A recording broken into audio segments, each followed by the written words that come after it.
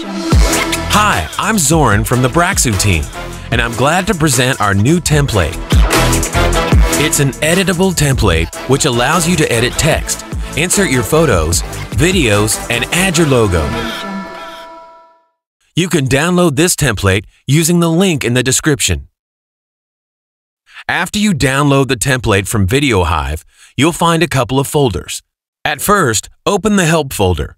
Inside, you'll find the README file with important links, like download font that was used in the template and find the music, as well as quick instructions of how to install the template into Final Cut Pro in a proper way.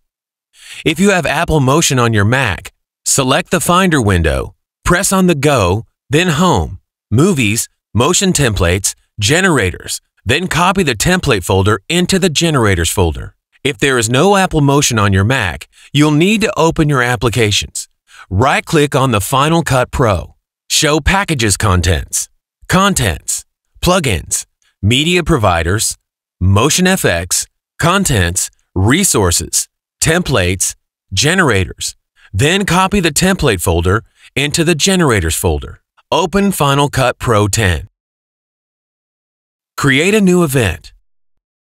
Create a new project with the settings for your needs. Import your media files into Final Cut. Choose Titles and Generator sidebar. Select the template you've just installed. Drag the template onto your timeline. Wait a little bit for a processing of all the parameters. Open the Inspector tab. Here you can find all of the stuff to edit the project. Add your media files. It is very important to fill in all the drop zones. You can use photos and videos. To work with video, select the segment you want to use. This is how you can resize and position your media. Here you can add your logo. Choose what you prefer to use, logo or text. The size and position are easy to change here. With this switch, you can add or remove fill. You can also choose any fill color. Edit subtitles in this way.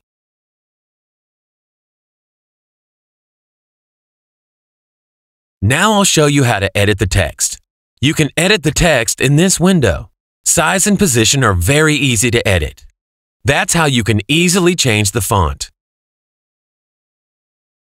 You can change the color scheme of an entire project in just a few clicks.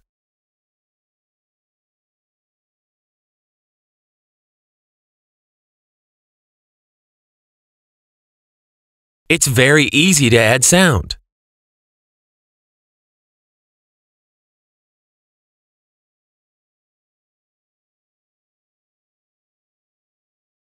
After you finish all of your adjustments, you just need to render it. Repeat after me and use the same settings. Thank you for your attention to our product. It was my pleasure to show you how to use this template.